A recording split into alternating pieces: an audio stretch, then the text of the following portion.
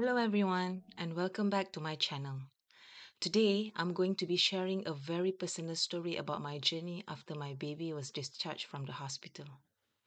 It was a challenging time, but also a period of growth and learning. I'll talk about the emotion, the support we received, and the step we took to adjust to life at home. Bringing Zayan home was a day full of joy, but also with overwhelming fear. I had spent months preparing for this, yet nothing could truly prepare me for the reality of caring for such a tiny, fragile baby on my own. Our NICU experience is woven into our story, not as a source of pain, but as a reminder of how far we've come. On the first day after being discharged, I had a panic attack. I remember it so vividly. I was terrified of making a mistake. I meticulously parked my car in the best spot, grateful to have been admitted for a five day room in hospital stay, which allowed me to learn how to adjust, consult with lactation expert, and prepare for life with him. It felt like a hands on test for a new mother. We learned how to care for our fragile baby, what to monitor, and what to keep an eye on. It was terrifying because I had to rely solely on myself I didn't ask for help from any family members. Every minute I was checking on his breathing, watching the rise and fall of his of his chest and observing the color of his skin.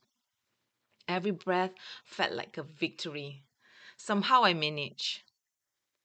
Bringing Zayan home from the hospital went smoothly.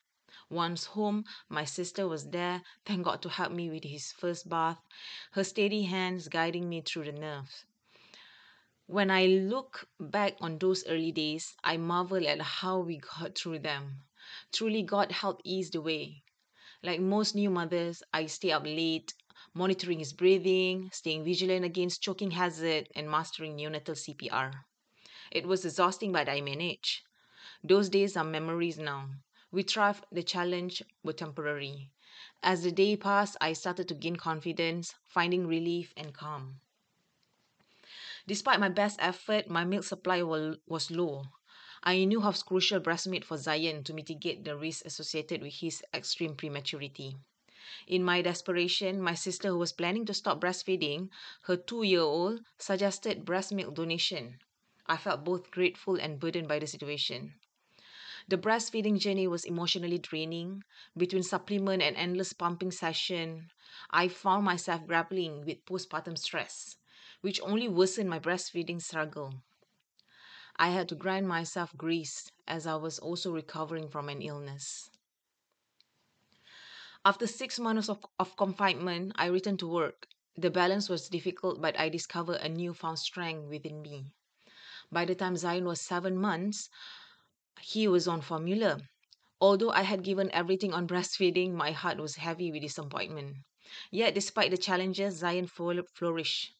His cheek became plump, his eyes sparkled with life, and every milestone he reached became a testament to his resilience and strength. I found hope in every tiny victory, knowing that together we were defying the odds. I vividly remember winning him at seven months, starting with mashed fruits and vegetables. His tiny hands eagerly reached for the spoon, filled with curiosity at the new flavor he was discovering. Today, I reflect on Zayan's bright, unique, and resilient spirit. He has always been extraordinary, not just because of how he entered the world, but because of the way he continued to thrive despite every challenge. When I look at Zayan now, my heart overflows with gratitude. He is thriving, growing, and filling our life with joy. Though he began his journey as a tiny premature baby, he is my warrior.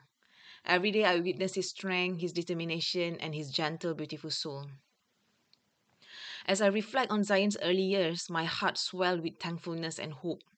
Those first two years were filled with pure joy, watching him grow, healthy and full of life.